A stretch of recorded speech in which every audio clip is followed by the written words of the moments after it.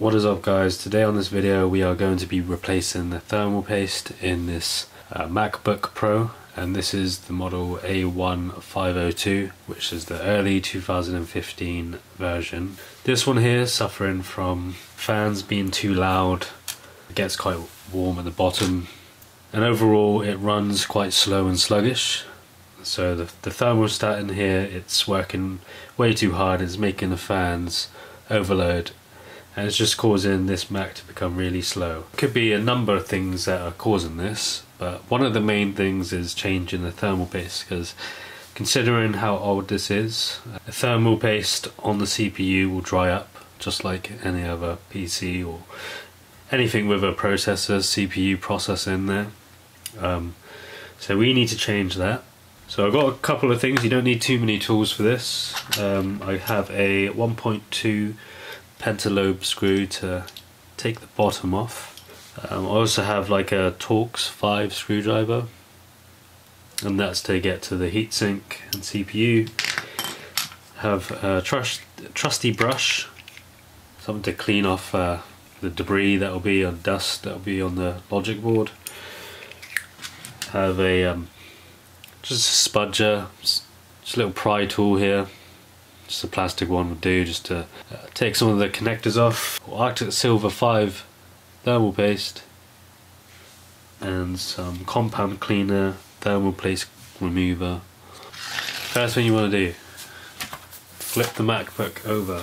I've already taken out the screws, but I'll show you where the screws are. They're all around here. So these are the pentalobe, uh, 1.2 pentalobe screws they're very tiny, make sure you don't want to lose them. Once you've taken the screws out, get your pry tool. You just want to get under one of the grooves and just work your way around this and eventually the back plate will pop off. Now I've already gave this a slight clean I hoovered up a little bit of the dust surrounding the logic board. So my suggestion is to get your brush and just brush off any dust that you see especially with the fan area as this is probably going to be clogged up for you guys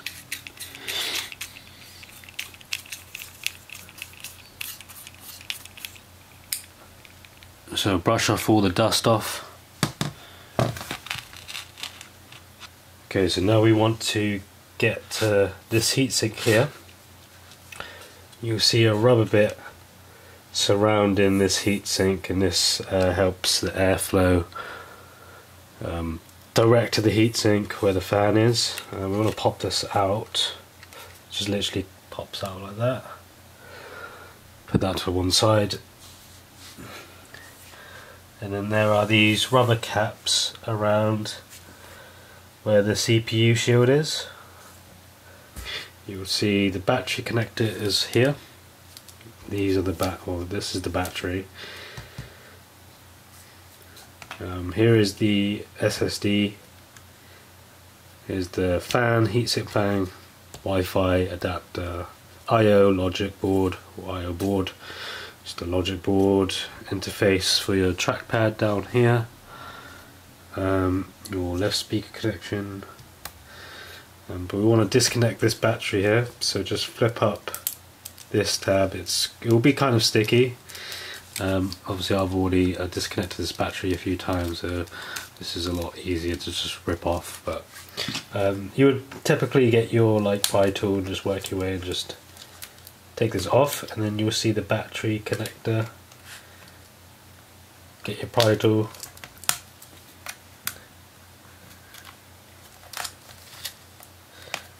can probably use this use your nails as well but you don't want to be too aggressive with this and um, actually ruin the battery connector but you see here this will just pop off Next you want to locate to your heatsink. There's this uh, rubber protector here over this heatsink and this actually helps the airflow from the fan direct to the heatsink. Um, so you want to pop that off. It's uh, fairly easy. You just grab it and then just gently just put it off. And then put that to one side. And then here, here is the uh, CPU shield or heatsink over it. And we'll have these rubber bits, and you can literally just take this off. They are adhesive, so I guess if you want to put them back, you have to um, a little bit of glue or double-sided sticky tape, and then stick this back on. But I think once you take them off, they're quite hard to just place them where they should. They'll just keep going everywhere. Just lost mine. Okay, next you want to grab your uh, T5 Torx screw. Well, actually, these are smaller. These are like two point something millimeter Torx screw drive, uh, screws.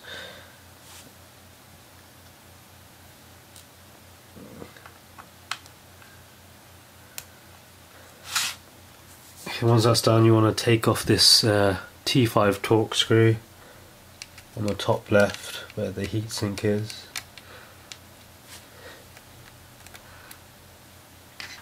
grab your pry tool just pop off. Whoops. So ideally you want to be gentle with this because there's a there's a few like um, capacitors around here and you don't want to damage any of those where the logic board is. But ideally you just want to pop this off and you can see here this this whole area is all dried up. Not a good sign. It's uh, not cooling down the CPU enough, which is causing the, the fan to just go crazy. So we want to clean that off in a second. Um, but first, get your brush and you want to wipe down this just to give it a good brush over just in case there's any dust around here. Right now we want to clean the shield and the CPU. So grab some uh, thermal remover.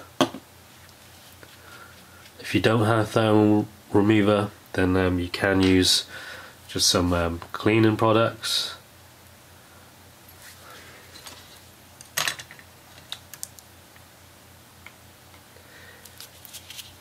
I mean, I only need like just a couple drops. Don't need much.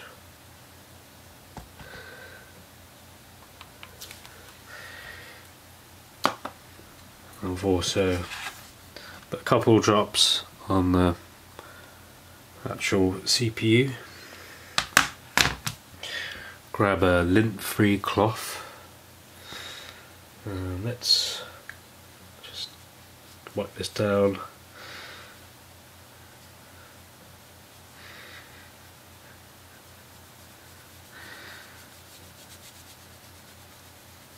Doesn't take much to actually clean it off. Ideally you want to like let it rest for for like a minute or two.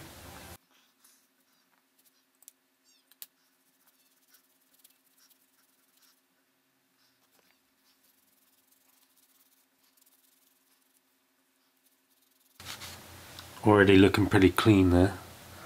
Right, once you've cleaned that, grab some thermal surface purifier. I mean this is optional I guess but I'm going to apply some on the heatsink and also the CPU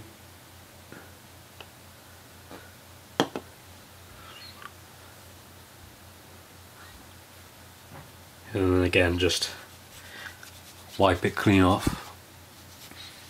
Grab your thermal paste and what I'm going to do is just put like little line there like and just like a just a tiny tiny small like pea size in the middle of the other chip. You really don't want to put too much but then you don't want to put too little don't need to put any on the heatsink, so don't worry about that.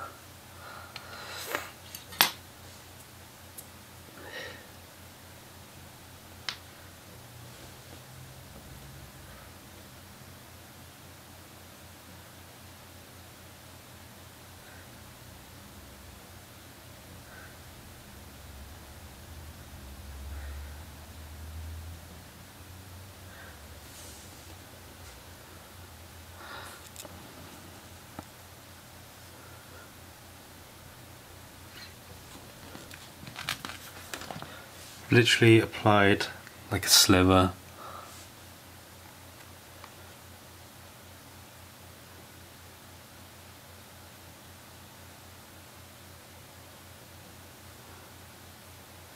And on the other side the smallest like pea size shaped in the middle. I mean I think that might be too much already but um, we're gonna try this and see how well the temperature does I'm gonna leave it like that and then grab the heatsink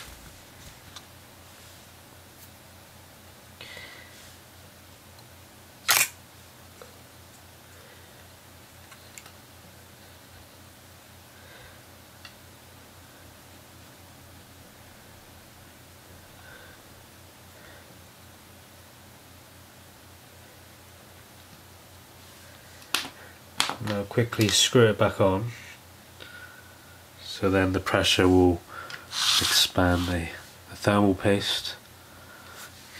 So you want to do that as quickly as possible. Try not to like move the heatsink too much because it will just smudge everywhere. Alright, so I've screwed everything back on. Now I'm gonna just put the back plate on but I'm not going to screw everything back in just yet. Now let's turn this on. Now it normally takes like at least 5 or 10 minutes for this to actually start heating up and the fans to go crazy so it sounds a lot better than before I tell you that. So I've left it running for about five minutes now and it seems to be um, running smoothly. There's no slowdowns, the fans are quiet, doesn't feel too hot. So hopefully this tutorial has solved your issue. Um, if it doesn't, if you have replaced the thermal paste on the CPU and you're still getting crazy fan speeds and your system's slowing down, then uh, there's a fault in the actual logic board itself. I think the temperature sensor, there's a sensor somewhere on the logic board um, that might have fried and it's uh, thinking that it's it's uh, overheating when it's not and it's running too many resources which is slowing down your PC, uh, slowing down your Mac. This case it just seems to be the, the thermal paste uh, but I would check that first before you do anything else. Check if it's dried up because it's an old system and uh, a lot of the thermal paste that they use uh, will dry up within a few years so um, that's something to look out for first, and if you replace that, then something else is uh, on the logic board is is actually faulty. So I hope this tutorial has been useful for you, and uh, please comment, like, and subscribe. See you again on another one.